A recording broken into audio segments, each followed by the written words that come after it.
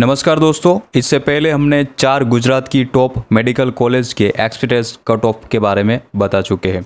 अब बात करते गुजरात के जामनगर में एमपी साहब मेडिकल कॉलेज के बारे में, इसका क्या एक्सपीरियंस कट ऑफ़ रहेगा, इसके बारे में हम इस वीडियो में बात करेंगे।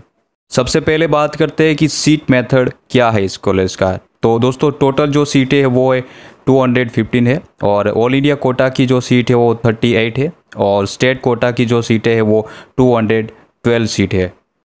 आगे इस कॉलेज में ऑल इंडिया कोटा में कितना स्कोर एक्सपेक्ट है तो उसके बारे में अगर बात करें तो जनरली 595 टू 600 है ओबीसी के लिए 595 टू 600 है, और एससी का है 485 से 419 तक है, और एसटी का है वो 416 टू 465 तक स्कोर हो सकता है।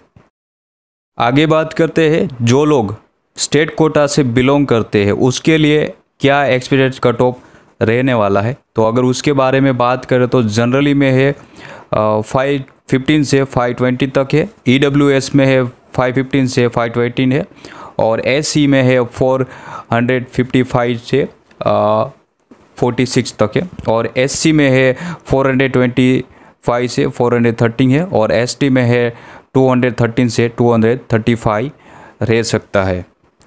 लास्ट टाइम इस कॉलेज में ई डब्ल्यू एस की सीटें नहीं थी इस बार इंक्लूड हो सकती है। अगर ज, आ, हो सकती है तो जनरल के बराबर भी हो सकती है और उसे कम भी इंक्लूड हो सकती है।